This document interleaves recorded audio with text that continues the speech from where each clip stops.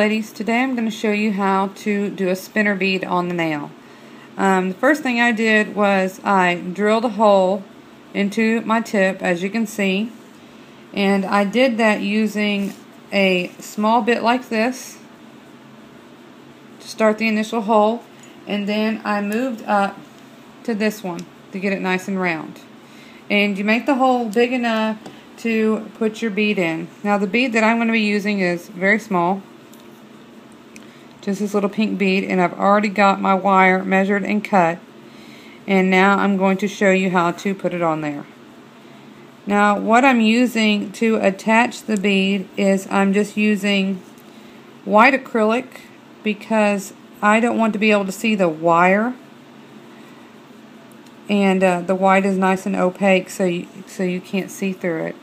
Okay, now I'm grasping a hold of my nail like this, and I'm going to place the wire here, just like that. See if I can get it to focus for y'all. There we go. I'm placing it just like this.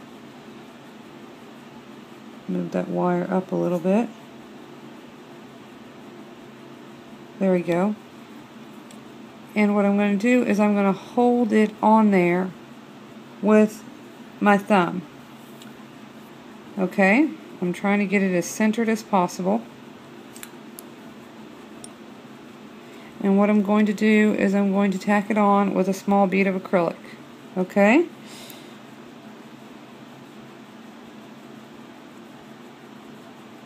Just like that. I'm going to feather this white out. and you're going to want to make sure that you keep that bead away from your acrylic because you want it to still move freely. And I'm just going to hold it like this until it hardens up and I'll be back. Okay, I'm back and it's hardened up enough to where the wire's not going to move. Now I'm going to grab another ball of white acrylic.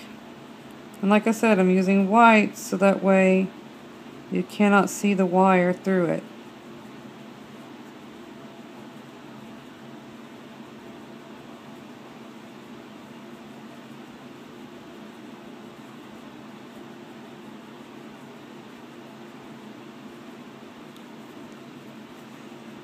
Just like that. I'm going to feather out both sides. Try to keep this camera focused for y'all so you can see really well. just like that. Now I'm going to let that harden up also before I move on to the next step. Okay, I'm back. Now just for instructional purposes, I'm just going to continue this in white um, and just make a, a pretty little French manicure with it. Now you can use, of course, your favorite glitter, acrylic, to put on it, but like I said, I'm just going to stick with white.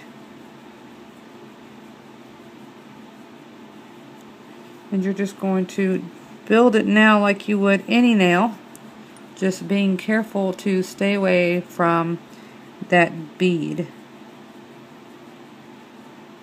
Because if you get any acrylic or anything on it then of course it's not going to move freely.